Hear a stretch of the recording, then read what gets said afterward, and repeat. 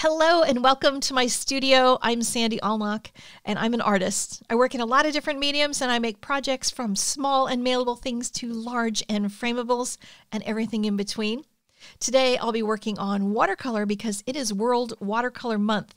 Every July we celebrate the medium and every July I get to be an ambassador and that is exciting, which means I'm going to be painting a lot. You don't have to do anything special to participate in World Watercolor Month except for watercolor. And it can be traditional watercolors or watercolor markers or gouache or brusho or whatever it is that you would like to paint with that day.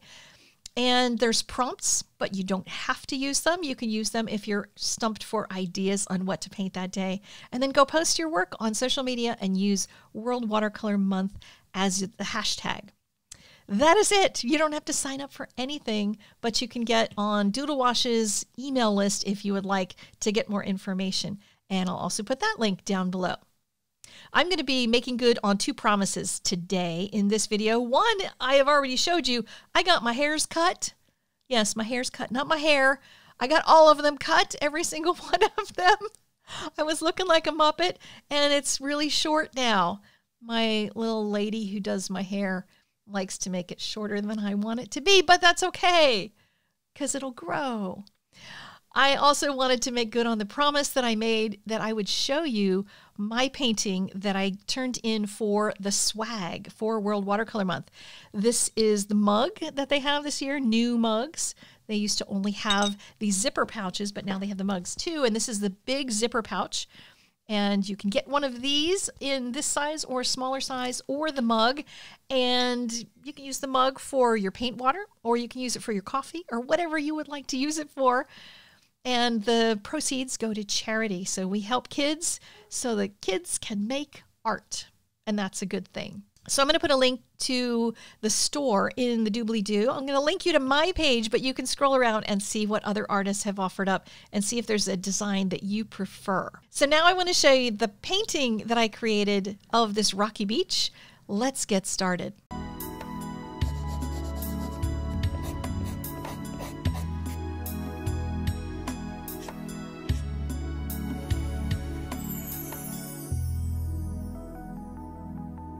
The photo reference I chose is one that I simplified significantly for my painting because I really wanted to capture that reflection on the water and the intensity of the rocks, but not as much all the fine detail, all the little tiny pebbles and things.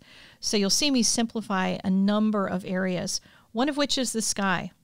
The sky, I just put some blue at the top and bottom and then added some spray of water and used a baby wipe to lift off a bit of color as well so that I'd have more of these very soft clouds opening up and letting the light come through. I wanted a little bit of the intensity in the photo, so I added just a bit of a phthalo so I'd have a punch of color and then joined the cloud section with the water so it would just blend in softly. And while that's wet, added in the sand, that distant sand, because I wanted that to be a soft edge as well. I'm going to add more to define it later on and left some water at the bottom so I could just bring that very softly downward on the painting. Then I moved to the bottom section while that was still wet in the, the center to add in some transparent red oxide mix and add some more of the sand so I could start building back up the color as I made my way toward the further distant sections of sand, but leaving the open areas for the puddle because I wanted that puddle to really be strong in there and carefully added in some of the blue so that it didn't bleed too far. I knew I was going to add some darks around the edges to clean that up, but I made sure the top edge had water on it and even used a baby wipe again to soften it so that I get that additional soft glow going up toward the, the sky. Now, once it's all dry, I started working with the flat brush to put a line of color. Like the in the photograph, the distant water is just really distant and it's very, very thin. Everything else was just bringing down the sand. And so it, this needed to be thin. I could have done it potentially using dry brush, but that seemed like it was going to be really hard to do in that thin of an area. So just using the tip of the flat brush I could tap that color in and create something that looks like the crashing waves and that sort of thing. And remember, that's blue under there. It's going to feel like it's got some white foam in it just because of the contrast between that and the water itself. So then I started bringing down wetter pigment and sort of fading that out as it gets down toward the sand, which now I have to start working in the the next line of sand because there is some dark sand out there in the distance. That's Again, another of the things that attracted me to choosing this photograph to paint from is the fact that you have this really clear distance. It's one of those scenes where you really feel like it's a long walk to get out to the water. And I wanted to capture that feeling, that feeling of the space itself. As I started working toward the sides of where the sand meets down with the water, I had to start creating crisper edges. And that's what's going to make it look like it's a puddle of water, you know, like the the trail of the sea that had come into the land. But then there will be some spots that will be softer, and it's a matter of just playing around with them. It was partially here where I tuned out being obsessive about looking at the photograph too much because there's so much detail in it. And that's one of the things that I made a great mistake with when I was a new painter and I still feel like I'm green. I'm not sure I, I can even say that I'm no longer a new painter. I've only been painting since 20, I think it was 2017, I want to say. So I just don't feel very experienced. But anyway, when I first began, if I had chosen this photograph, I would have tried painting every single rock in exactly the place it was. I would have sketched them all out. I would have put in all of the little textures in all the rocky areas. And here I, I felt like I've come so far because I was able to just say to myself, it's not necessary to do every single little thing that is pictured in that photograph because I'm trying to capture the overall essence of the place that sense of distance, that sense of light cascading down and reflecting. And that freed me up. I could use this nice flat brush to start making rocks and not really worrying about am I making this rock exactly as it's shown in the photo because I'm not I'm not trying to replicate that. Somebody already got a great photo of it. I'm never going to get it as good as that photo. But I can get my painting to represent what it is that that I loved about that photo and focus on that part of it and just make my own rocks. I'm putting them in general in the kinds of areas, the kinds of size relationships that I saw in the photo. And I'll still glance at it while I'm working, but I wasn't really trying hard to make it look like, you know, you would recognize every rock when you went to the beach. Oh, that was the second one from the left that she painted, because I just wanted it to have that feeling. I'm using lighter, thinner paint as I'm doing this portion. And if you're new, this is one of the things that I also uh, kind of realized over time is that it's real easy to get intimidated when you're putting a really dark color down next to a really light color. And it's a little safer in my mind, at least it, it helps me mentally to process what I'm doing when I start painting in a lighter color and then I can just slowly add my darks to it. I can start to build up that color and decide how dark do I really want these rocks to be and not lock into it in that first stroke. Because when you're jumping into a painting and all of a sudden you have a really high contrast between two objects, it can actually just scare you as an artist like, oh my gosh, now I don't know what did I do that right? Did I do too much? And you'll either make the error of continuing on and trying too hard to start pushing all of the rocks to be that dark color, or you'll get timid and you'll get afraid and everything will dry before you start being able to work into it. And here I was keeping the rocks nice and wet while I was working on them and adding, you know, extra shadows to them and stuff. And you saw me lifting color as well. So if you're still working while it's wet and you're not freaked out because, oh my gosh, I've added too much color, then if you get to the point where you want to dry your brush off and just lift color out of it to create a highlight, you can do that. And I used to just get frozen when I was painting. I would look at what I had done and think, I've totally messed this up. And then I would sit there and stare at it, trying to figure out how I was going to fix it instead of proceeding while the paint was wet. And all of these rocks are still in some phase of dampness, so I can still go back into any one of them. I had a bit of an oops with the camera. It stopped filming and didn't tell me, so we missed a couple of brush strokes there, but not a big deal. I'm using colors for the reflections that are the same colors in the rest of the painting. Not going to add something new at this stage. And that is one of the other things that I've learned since I first mm-hmm. began with watercolor. I used to try to use an individual color for everything. And I found that my paintings were very disjointed because all of a sudden you'd end up with a different color in an area that had not been seen elsewhere. And I didn't know why. It just was jarring to me. But I've come up with much more calm types of paintings since I started limiting my color palette and choosing those first colors as ones that I can mix later. So as I'm getting these grays into the rocks, it's actually using the blues that were in the sky to add to the browns in various quantities. So when you're mixing any kind of a neutral color, if you mix red, yellow, and blue in different kinds of red, yellow, and blues and different kinds of quantities, you'll get varying amounts of browns or grays. So I could add a bunch of blue to the brown mixes and end up with a color that's a, a, gray or even a blackish color without using any black in the painting. Because those colors, when they're mixed really thickly, will turn into a black color. But you can see how adding those those blue grays on top of these brown rocks starts to really develop them into rocks that look realistic as opposed to brown blobs, which is where they're the first wash across the rocks had been.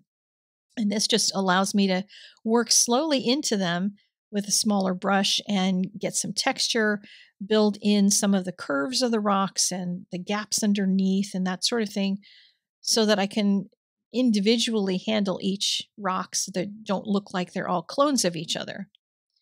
And again, you can use the photograph as kind of an idea if even if you're making up your own rocks like I am, I would occasionally, if, if I got stumped with, okay, I want to make a unique shape here, what could that be? I would look at one of the rocks in the photograph and say, oh look, there that one has a slope to the left, or it it has a a ding in it on that right side, and I could use that on this other rock that I'm creating.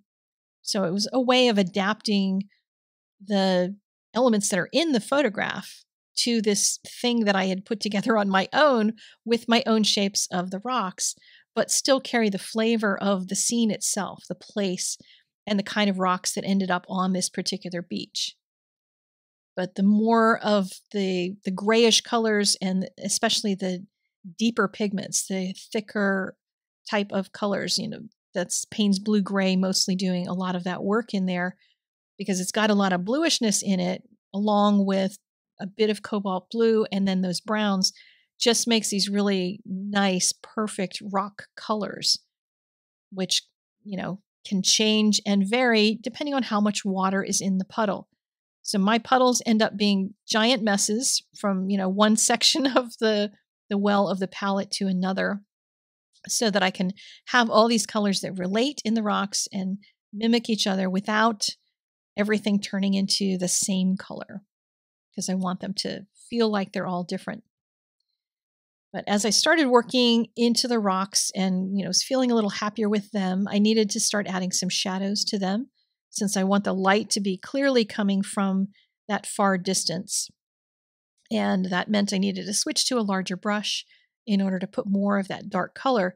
Now, that foreground section on the right is all little itty bitty tiny rocks didn't really want to get all that detail in there. I wanted a little something and did some splattering in order to create just a small amount of interest.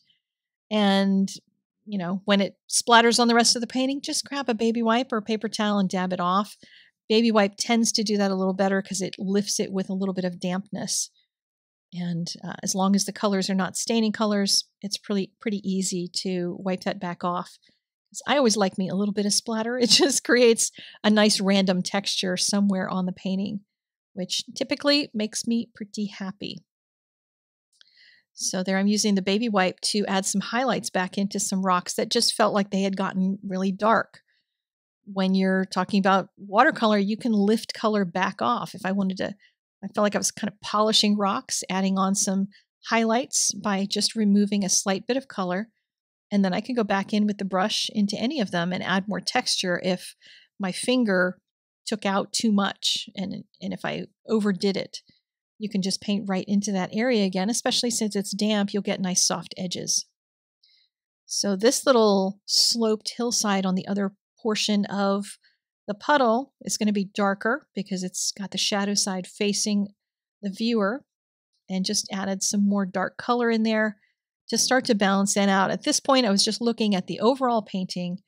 Are there areas that needed to have more more depth and richness? And then I realized, yes, because I had a whole section of rocks that I just had sort of left out. So started working on painting some more rocks in the distance. And the great thing was I already knew how to do that because I'd already had these rocks working in the foreground really well. They just need to get smaller and smaller as they get further away.